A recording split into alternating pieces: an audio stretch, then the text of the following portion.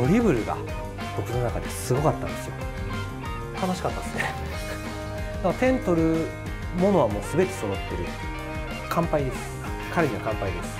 僕のなんかサッカー IQ を上げてくれた監督だなと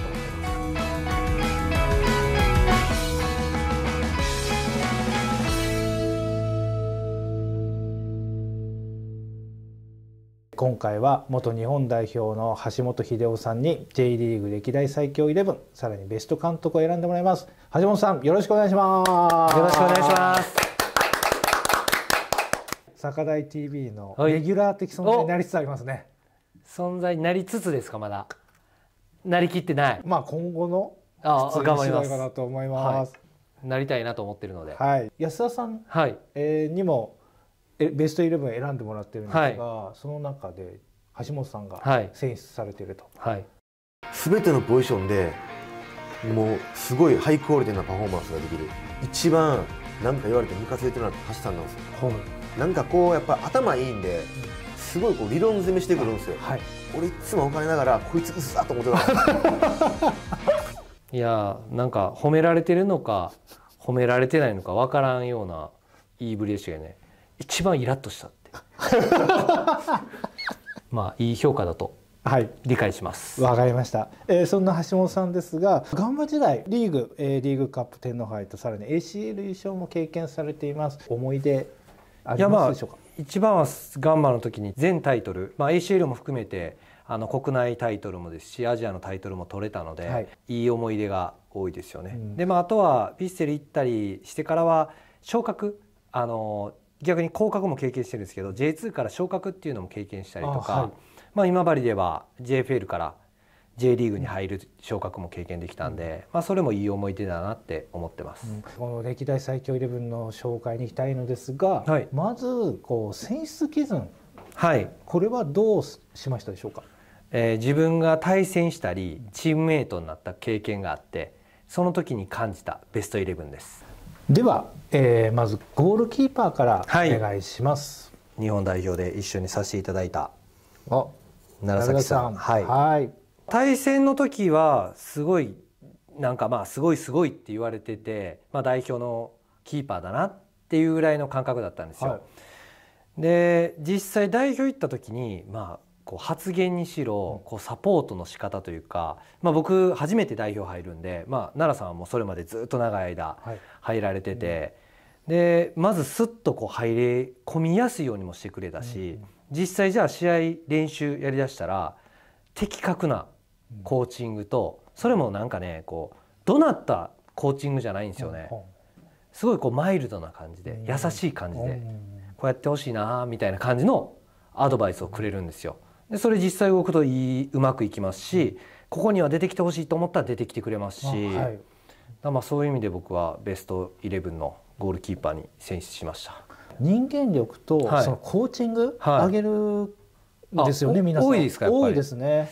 いやかぶったか。キーパーってまあポジションもき手使うポジションじゃないですか、癖のある人多いんですよ。はいはいはい、の中では癖少ないのに代表クラスっていう。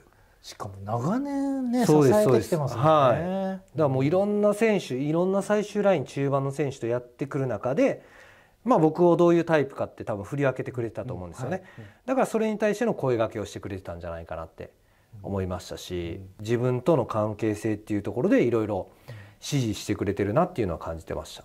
わかりました、はい。じゃあこの長崎選手の前に位置する、はい。えーセンターバック、はい。あ一人目は。はい。あ。また代表で一緒にさせていただいた中澤さんはい。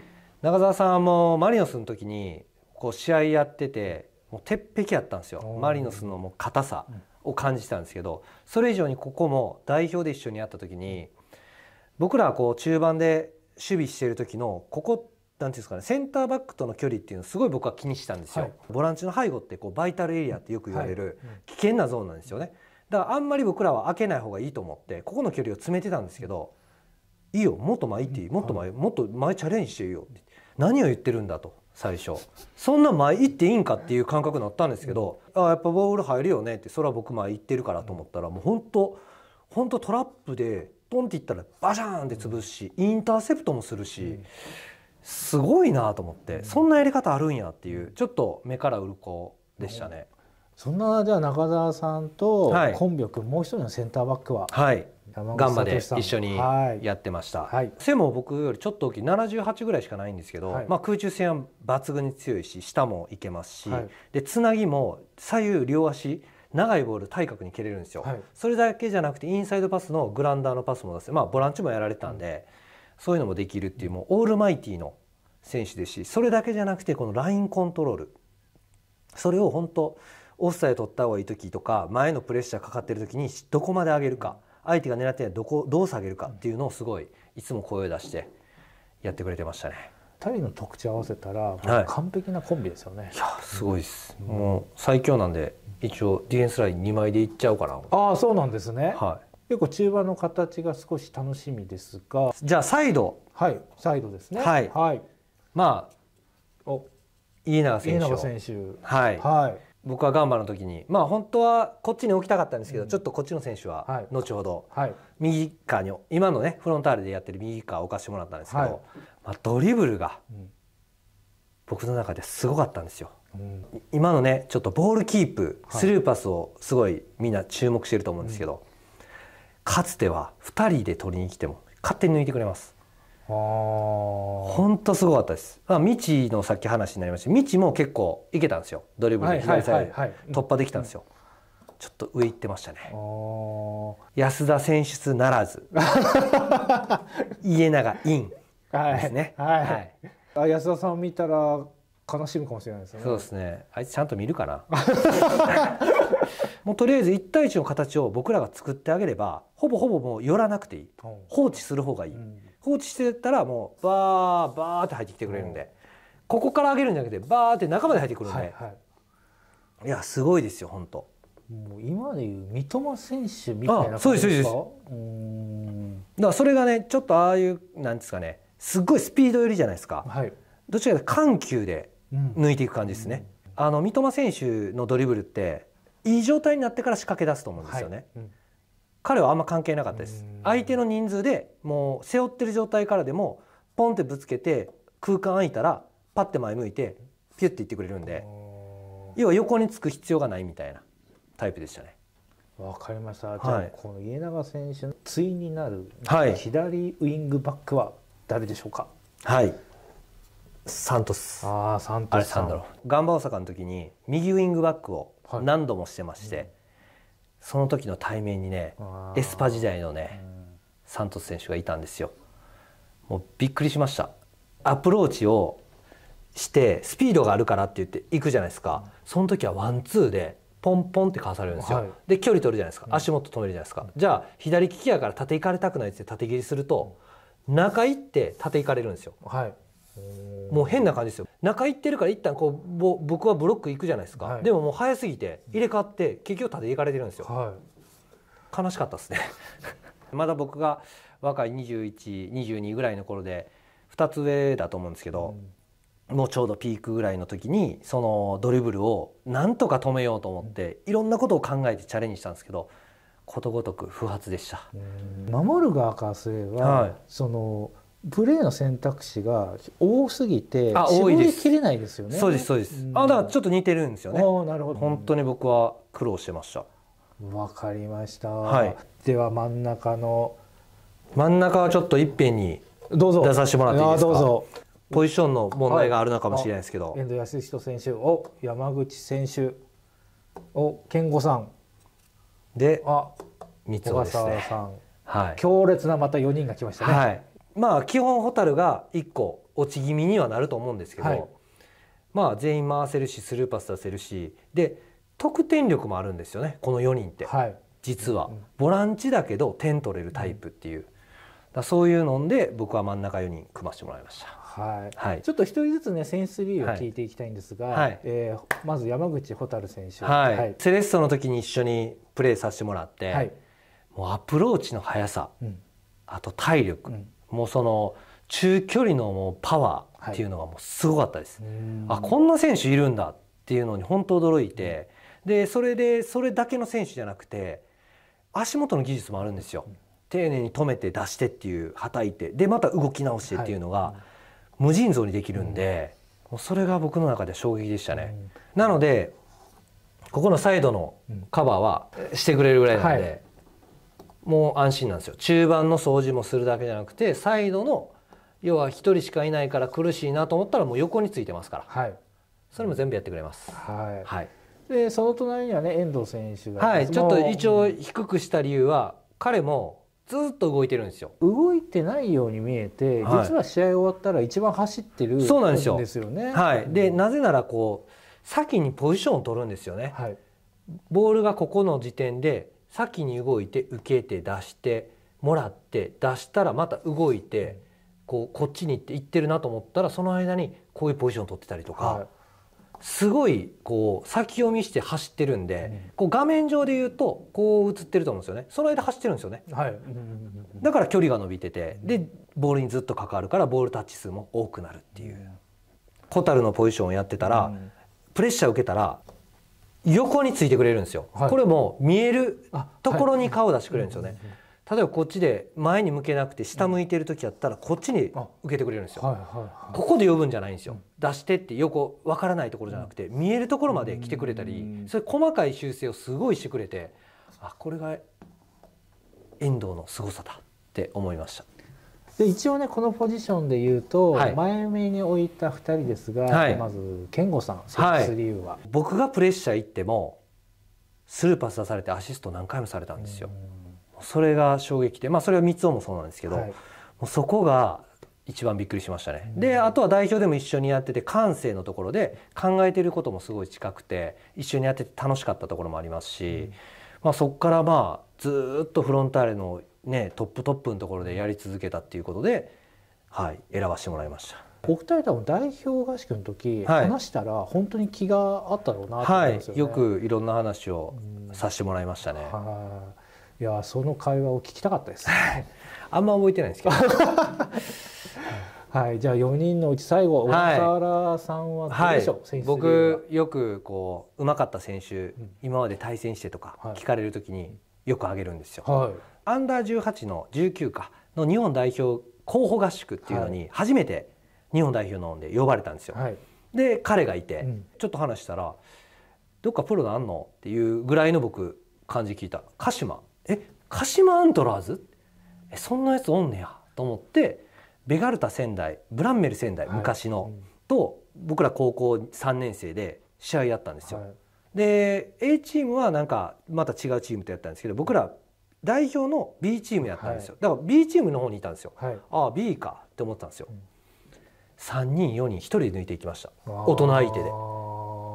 びっくりして、うん。えこんなやつおんのって。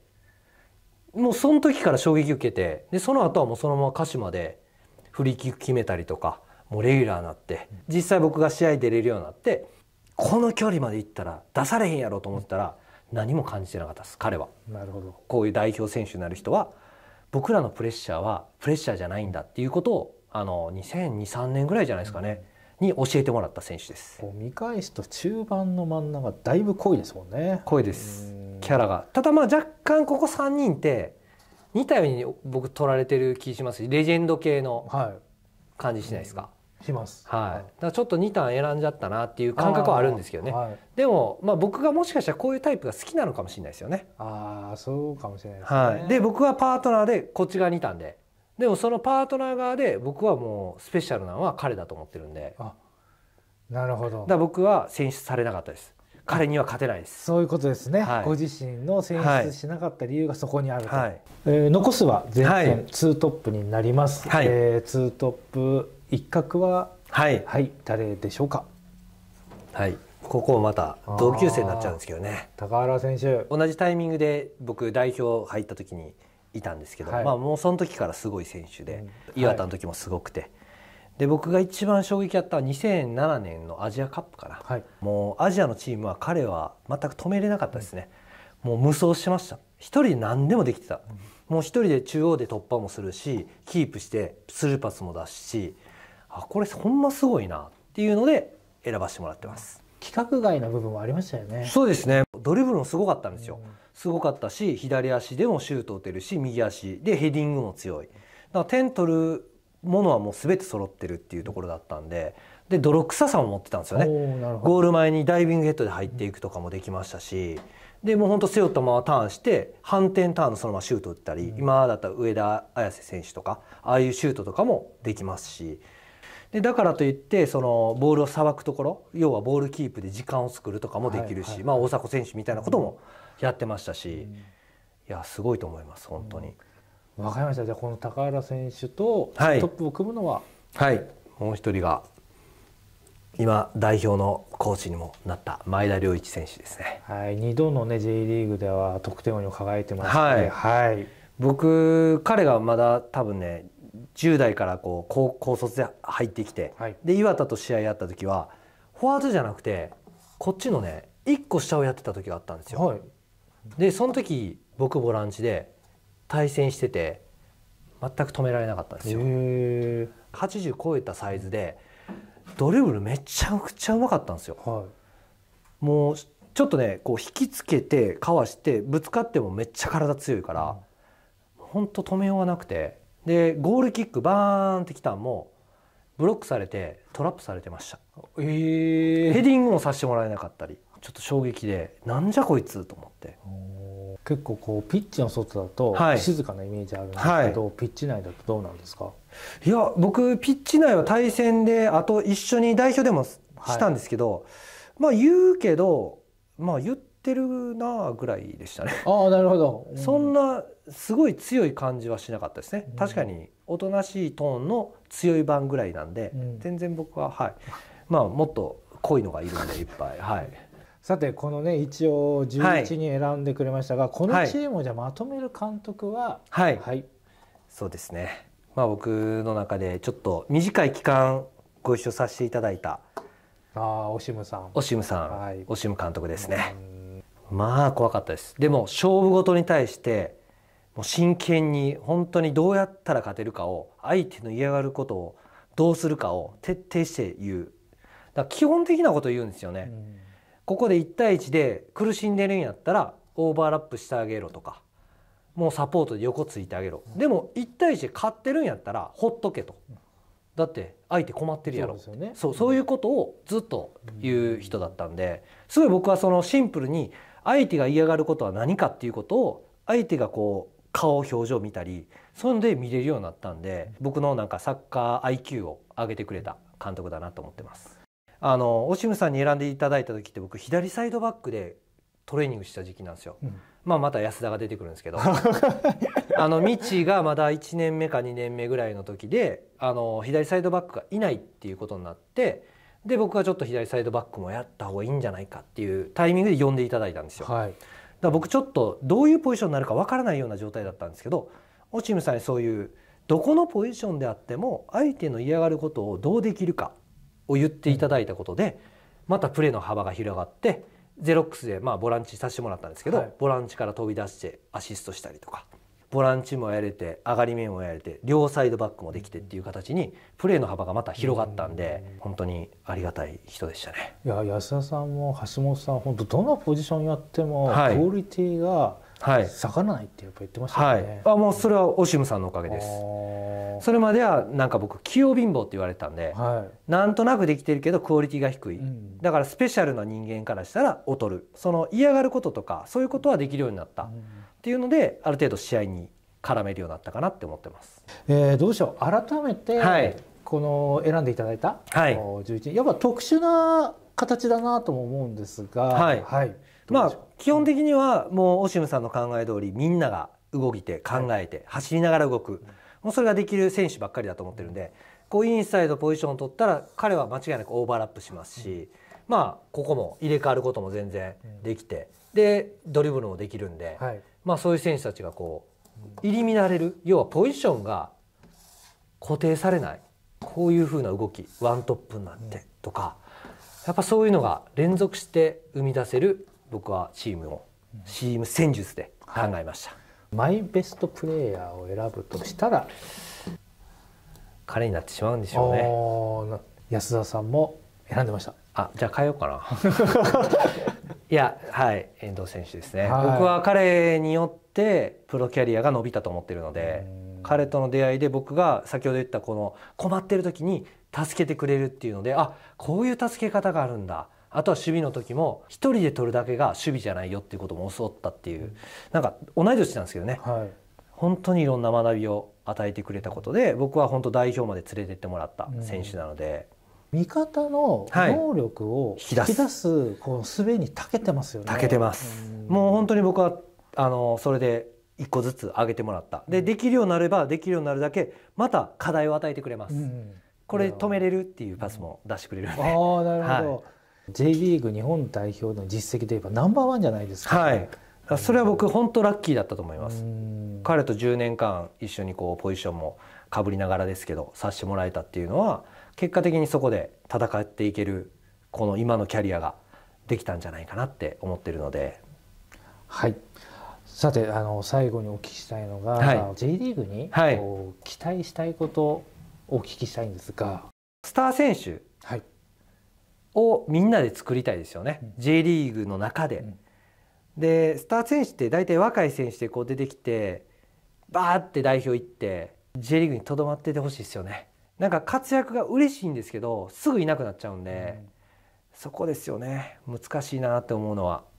国内のレベルが本当に別に海外行ってやるレベルより高ければあのまた日本代表にもつながれば出なくてもいいっていう判断をする選手も出てきてもいいんじゃないかなとは思うんですよね。そういう意味では、まあ、国内リーグでやるところで外国籍の選手を増やすっていうのはもしかしたら課題としてあるのかもしれないですね。日本代表のことを考えれば。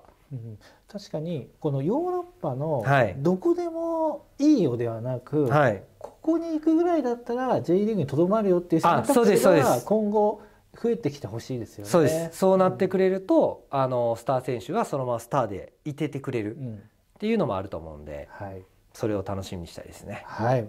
わかりました。今日は橋本さん本当にありがとうございました。ありがとうございました。ベストイレブンえーご意見があればコメント欄にお願いしたいと思います。ではこの辺で今回失礼したいと思います。皆さんさようなら。また呼んでねはい。